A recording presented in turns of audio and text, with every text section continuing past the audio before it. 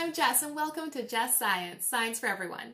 Today's demonstration can get a little bit messy, so if you're trying it out at home, please, please, please make sure you do this outside. I'll try and do it nice and carefully here. So for this, you are going to need a cup or a bucket. Uh, I'm using an old yogurt container, and you can attach it with a string like this.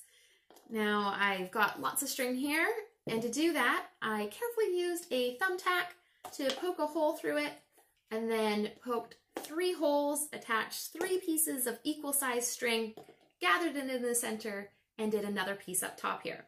And what we're going to be doing is adding a little bit of water and spinning our cup like this. And we're gonna see if we can keep the water in the cup. Now I know what you're probably thinking, and that's, well, there is still gonna be gravity happening when the cup's like this, where the water is gonna fall out. But what we're hoping is that the centripetal force, which is the force that exerts when it goes around in a circle, is going to keep the water in that. And it works like roller coasters. If you ever kind of been spun around in a roller coaster, you can kind of feel that force. And part of that is when I add the water here, there we go, we'll just add it a little bit. And when I start spinning it in a circle, that water and the cup here are gonna to want to keep spinning in a straight line, but it gets pushed in a circle. So the water gets pushed against the cup, even at the top. And as long as that push is stronger than the gravity pushing down on it, it's going to keep it in the cup. You may have experienced this yourself if you've had siblings or friends in a car and you've gone around a tight corner and you've been pushed against the side.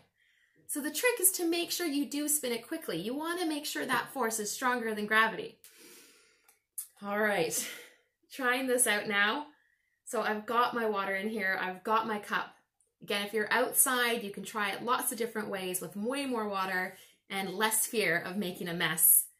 And we're gonna see if we can do it. You didn't think I was gonna do it inside, did you? All right, here we go. One, two, three, give it a spin.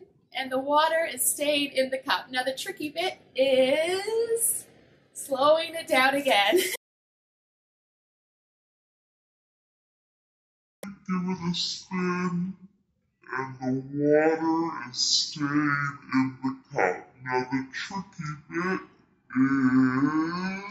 is slowing it down again.